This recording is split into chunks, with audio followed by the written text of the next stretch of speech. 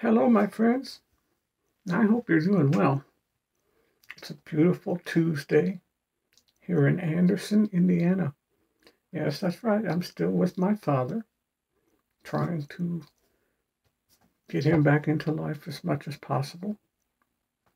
It's rather difficult after being married for 60, almost 67 years. But we're trying our best. Certainly value any prayers that you could offer too. I want to talk about stepping stones because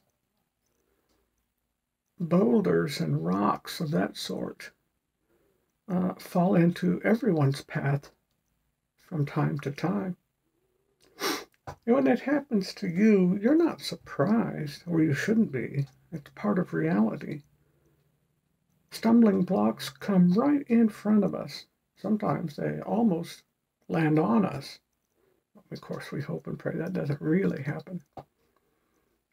Um, although I did see that happen on a um, Facebook video, I think it was, and the entire, it looked like the entire mountain fell into the sea. Um, how there was not a tsunami, I don't know, but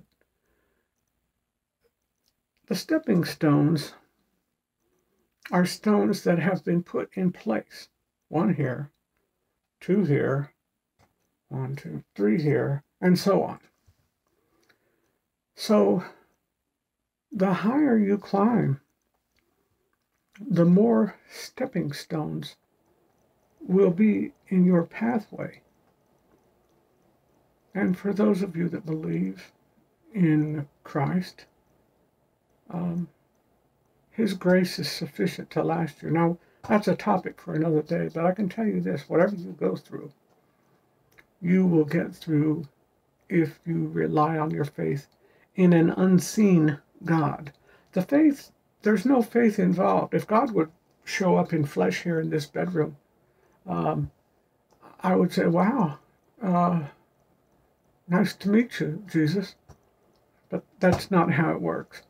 Faith is the substance of things hoped for, but the evidence of something not seen. In other words, for you to say, I have faith, then you have to believe in a God that will keep you and propel you into your future, but in a loving hand. And don't underestimate God. He's quite powerful. Now, if you don't believe in God, just consider it doing good for better karma. However you look at it. Don't let all the stones that fall in your path be stumbling blocks. Use them for stepping stones. You ever watch the people climb up the pyramid in Egypt? You can see places on some of the pyramids where those huge, huge blocks have been uh, obliterated with the passage of time and the millennia they've been there. However, some people still have the ability to climb up, but they're usually in legal trouble as they do. But that's what I want you to focus on.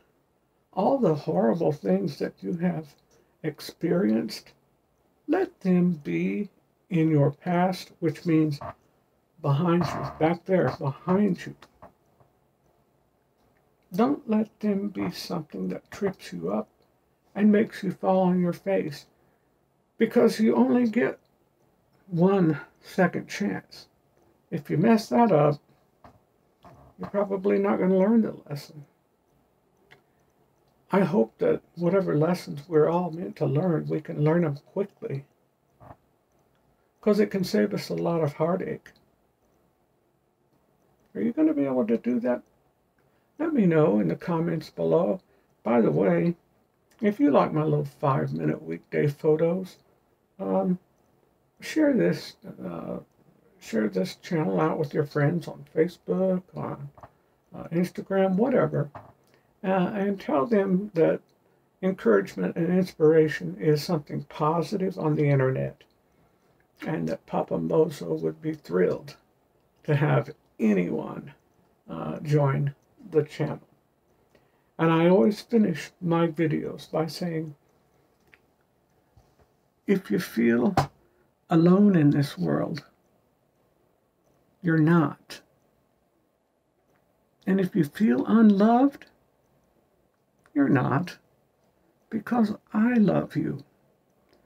Now, I finish every video that way, but I'm going to ask you to do me a favor and put it in the comments below if you do. If not, don't worry about it. But if you tell someone else that, you know, let me know that that message has gotten through to you and that you have shared that with someone else. You know, in this COVID 19 era, we can't always touch the people we love. Sometimes we can't even be in the same room. So get on your Facebook pages and your YouTube comments and things like that and let people know you're not alone in this world and you're not unloved because I love you. Let your friends and family know that. No time like the present, folks. I hope you have a wonderful Tuesday.